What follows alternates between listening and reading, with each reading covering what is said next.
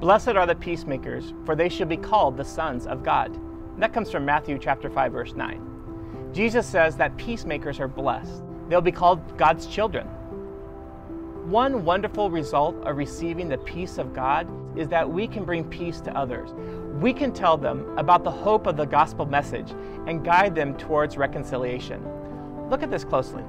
We are peacemakers because of the Spirit of Jesus. The Prince of Peace lives in us. One Bible commentary says that peacemakers love peace and make peace.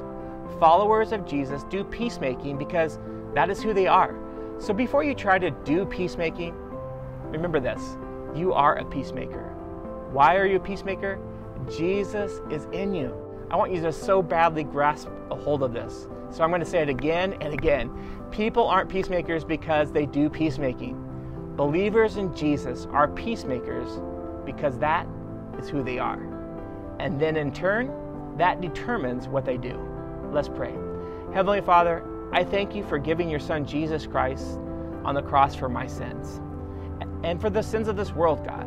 And Lord, I pray that you would uh, continually abide in your people, God, that we would understand that we are peacemakers because your Holy Spirit abides in us.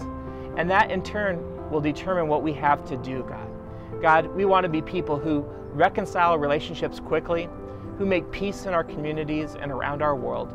And we thank you that you make that even possible, God. And so we just give you the praise and glory. In Jesus' name, amen.